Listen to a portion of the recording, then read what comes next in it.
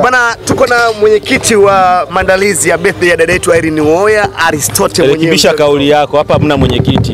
Irene Uwoya hajachangisha mchango wowote wala hajaomba sijui watu wamchangie. Haina, yani hii birthday haina mwenyekiti. Irene yeye mwenyewe ndo tajiri, haina mwenyekiti. Naomba rekebisha kauli yako. Kwa hiyo kwa hiyo hapa hapa kuwepo na maandalizi yoyote, ni yeye mwenyewe tu ametoa Ni pesa ipo, pesa ipo. Yeye mwenyewe kaamua kufanya birthday yake, katoa pesa zake. Kama hivi unavyoona watu tunakula mbuzi 30, Hennessy ni za kutosha, ni nyinyi kuliko watu. Watu 150 ndio wamealikwa tu, kidimbu imechukuliwa hapo, hamna mtu. Unaona kuna watu wengine wamekuja tofauti na watu wake walioalikwa, hamna kitu kama hicho. Kwa hiyo Irene huwa habahatishi. Uliza na swali lingine.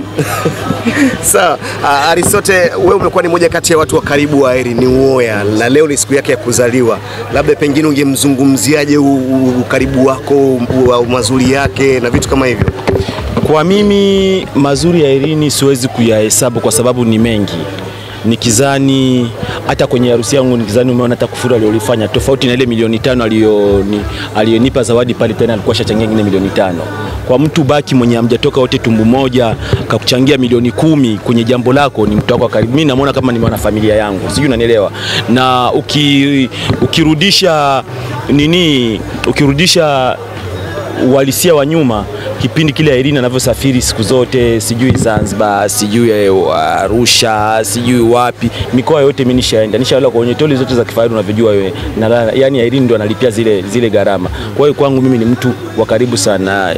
In case pakitokea in, chochote kwenye familia nitaka ku- ku- kufanya, lazima nimshirikishe, huwa anatumia pati yake kama vile mwanafamilia yangu. amekuwa na play part kubwa sana kwenye mambo yako mengi, lakini pia tume, tumeona alikuchangia mchango kwenye harusi yako milioni tano, akaja kutoa tena zawadi siku ya harusi yako tena milioni tano kama milioni 10 million. La, kwa kuwa leo ni siku yake ya kuzaliwa, labda pengine kuna zawadi yoyote ambayo umemwandalia siku yake?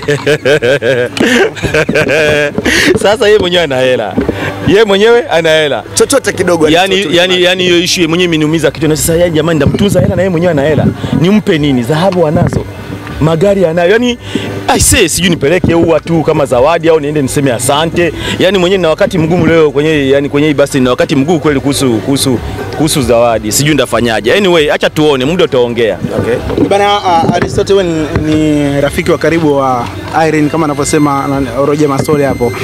Leo hatujaalika masnitch kwenye sherehe yetu. Ukiona mwenye hajaja ujue jina limekatwa, kwa sababu wa, kuna baadhi ya masta wa bongo movie au wa, wanamziki wengi ni masnichi na Irene haiko karibu na snitch. Yani wale masta ukiongea nao nafikiri mnaongea mnamteta mtu, kumbe na kurekodi yale majina yote yamefanya nini, yamekatwa. Kwa hiyo usiyemuona hapo ujue jina lake limefanya nini, limekatwa. Yes, Irene hawezi kuwa karibu na snitch. Eh, Bana mara gapo mmojafu mmoja kwa anatokea hapa inakuwaje? Inategemea wana ukaribu na Irene. Hmm. Mwijaku hawezi kutokea kwa sehemu yoyote kama mtu ana, ukaribu naye, hawana mazoea hayo Hmm. na Irene hawezi kuwa na ukaribu na, na, na Mwijako kwa sababu ni vitu vili tofauti. Hmm. Yes. Bana mara nyingi umekuwa wewe ni mmoja kati ya mtu ambaye unasapoti uh, sherehe ambazo zimedamshi, sherehe ambazo uh, zina vibe la aina yake. Tuliona wewe ni mmoja kati ya mtu ambaye alikosoa sherehe ya Gimani, akasema sherehe haina vibe na nini, akaja akakujibu na nini. Sherehe za Elini tumekuwa tukiona zina zina vibe, zina vibe kubwa. Hebu tuambie, sherehe ya leo unahisi ni kitu gani cha tofauti kitatokea tofauti na sherehe zote za Elini ambazo washawahi kufanya? Ujue mimi ni mkweli, haijalishi wewe ni nani. Ukikosea au ukifanya maandalizi mabovu, lazima nikupe ukweli. Maandalizi yakiwa mazuri, ukweli unaonekana. Hata nyinyi waandishi wa habari wenyewe mnaona kabisa kama hapa kuna kuna ukweli. Sasa Mm. Irene hapo utakosoa nini kwa mfano? Mm.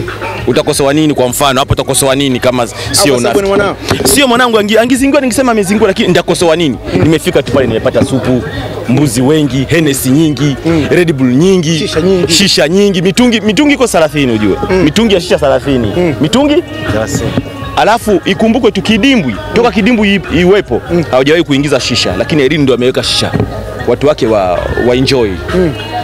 Wewe unakuja kidimbwi siku zote? Ah, si mpenzi. Hamna mteja wa kidimbwi anayevuta shisha, anayekunywa shisha, anayepata huduma ya shisha, lakini Irene kapa watu wake wa enjoy shisha zote. Kwa haraka haraka unahisi kama milioni ngapi imetumika? Kwa mpaka sasa hivi kama jana ilikuwa milioni tisini, sijajua mpaka ikiisha itakuwa kwenye tisini na kitu. Are you serious Alistair? Yes. Kukodisha kukodisha hapo unafikiri shilingi ngapi? Kukodisha tu wenyewe hapa unafikiri shilingi ngapi? Labda si kwa sababu ni mtu maarufu nini anawatangazia na nini. Katumia hela, katumia hela bro, kwa sababu kuwa makini na mtu anayefanya sherehe bila kuchangia, bila kuchangisha watu.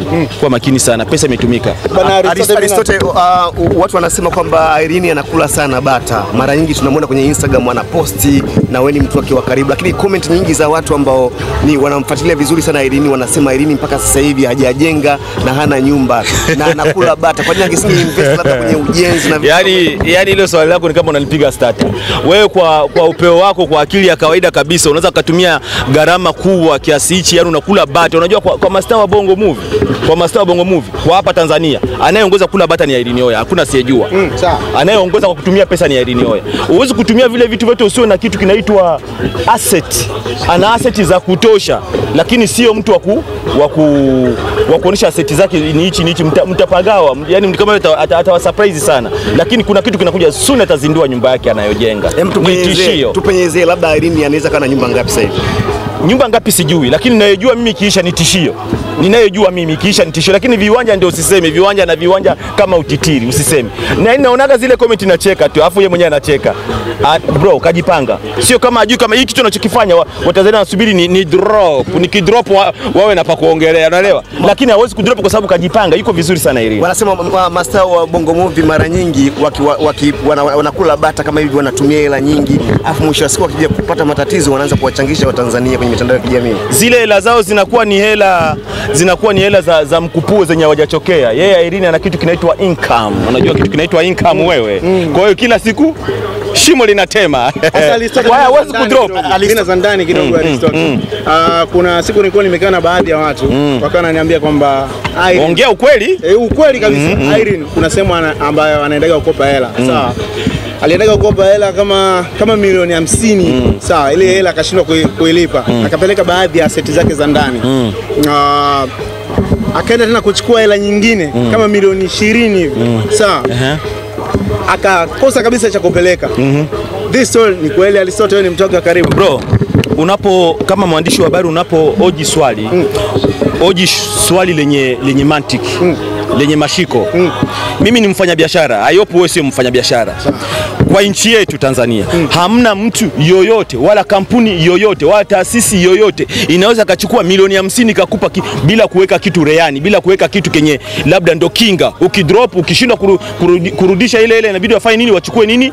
Vitu vyako. Hamna hicho kitu huwezi kupewa na je, kama una vitu vya ndani vyenye vina- vyenye- vyenye vinakuruhusu wewe ukope milioni hamsini, maanake uko vizuri moja kwa moja, ni tajiri. mm. Tajiri yoyote anaweza akakopa sehemu yoyote, kama ni wewe ni mfanyabiashara, lakini hamna mfanyabiashara au mtu yoyote anaweza akakukopa pesa kuanzia milioni hamsini kama unavyosema wewe, bila kuwa na kitu cha kufanya nini, cha kuweka reani, mm. na hicho kitu iwe, iwe ni mali isiyohamishika. Kwa wale wanaosema ana viwanja, je, utaweza unaweza kukopa bila, bila kuwa na kitu kine- mali isiyohamishika? Mali isiyohamishika ni kiwanja na, na nyumba.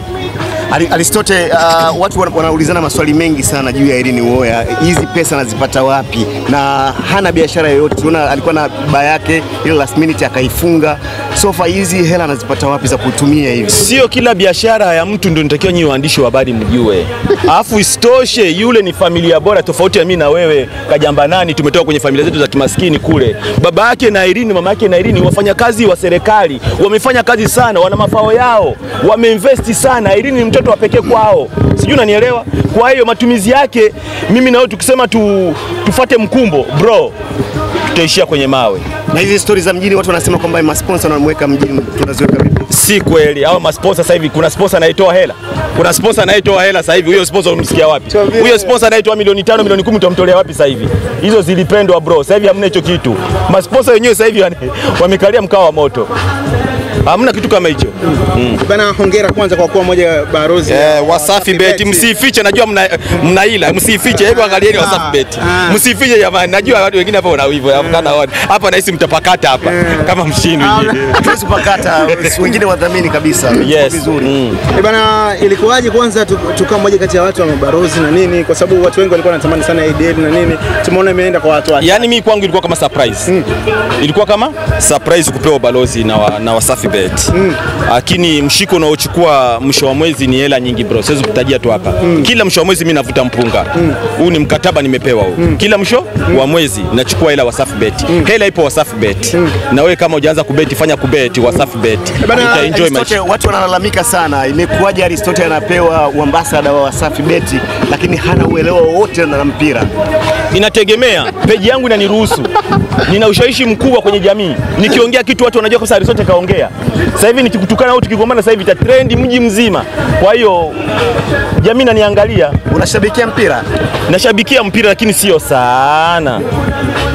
Unahisi ulikuwa sahihi kupewa wa- Niko sahihi kwa sababu nina ushawishi mkubwa Okay. Asa, kama kioo Aristote- cha jamii, kama yani, sijui unanielewa. Sawa, Aristote, uh, watu wanasema kwamba Diamond kuna watu, watu wa karibu, inaonekana kama kama kama nguvu yenu ni ndogo hivyo, akaamua kumuingiza na Mwijaku. Ilikuwaje kwanza? Amna, Mwijaku sio kama tumeamua kumwingiza Mwijaku.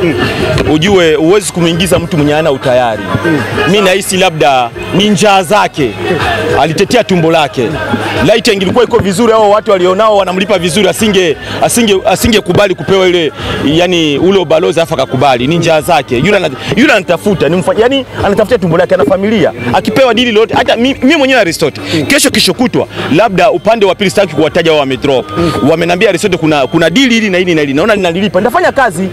Sijui unanielewa ninachomaanisha. Mwijaku yuko sahihi, atafanya kazi. Mimi ni mmoja kati ya watu ambao nilipiga naye story siku ya uzinduzi wa Wasafi Bet. Wamesema kwamba wametumia nguvu nyingi sana, wametumia watu wengi sana wenye paa kumshawishi yeye kuwa mmoja kati ya mabarozi. Diamond hawezi kutumia nguvu nyingi kwa, kumfa, kwa kuchukua mtu amfanyie kazi yoyote, kwa sababu pesa ndio inatumika bro. Ana pesa na na uwezo wa kumtoa Diamond. Sasa hivi akisema anaamka asubuhi ameshikwa na hasira, naweza kumwambia Mwijaku, naomba nakupigia simu kesho kesho kutwa, toka toka nini wapi ni- ni- Klausi, naomba uwe mfanyakazi wa nini wa Wasafi, na Mwijaku akafata mkumbo. Ni pesa bro, yule anatafuta yule Mwijaku anatafuta pesa.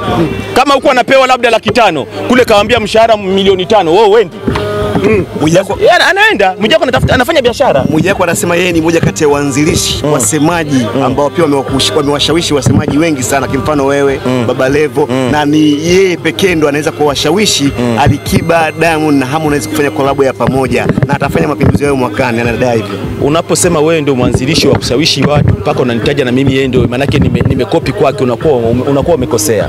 Tukienda ukisema unakuwa umekosea, tukienda kwenye vitu vinaitwa asset mm.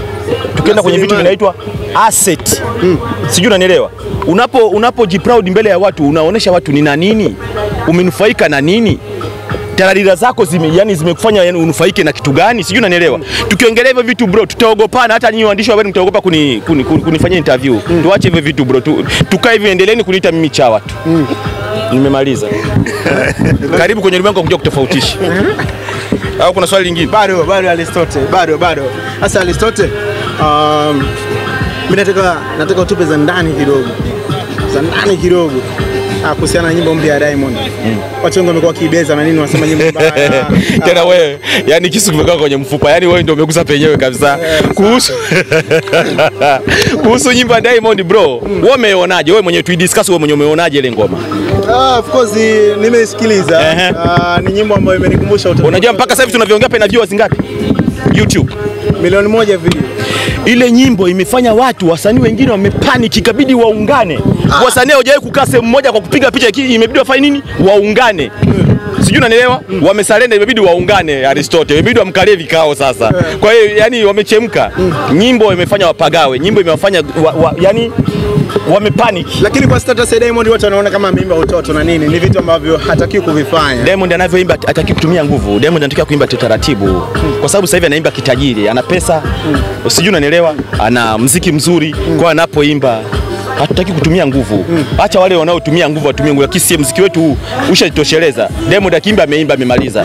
Aristote, labda neno la mwisho tumalize kabisa. Najua majukumu ni mengi, maandalizi ya kutosha, mm. labda neno ambalo pia litamjenga ili Nuoya leo siku yake muhimu, kama mtu wake wa karibu, ungependa kumwambia nini? aongeze mtoto mtoto ule amekuwa, aongeze aongeze mtoto. Krisha anahitaji kuwa na mdogo wake wa Irini. Irini atakiwa aongeze nani? Aongeze mtoto, mtoto amekuwa. Yes. Baba, baba, na- baba ni baba na Krishi huyo muongeze mtoto. Babake na Krishi wao jua ya wewe wapi ndugu yangu? Babake na Krishi Shafariki. Ah. Nani tena? Ndugu za ndani. Wewe jamani. Aongeze na nani? Aongeze na aliye naye, kwani hiyo si wa kike, lazima atakuwepo kwenye mahusiano. Kwa hiyo nafikiri yeye yule jamani, sana mwili mwili huo unauma. Na Chibaba au? Bro, unamvunjia heshima, unamvunjia heshima. Kama unamwona yeye Chibaba anafaa, mpe dada yako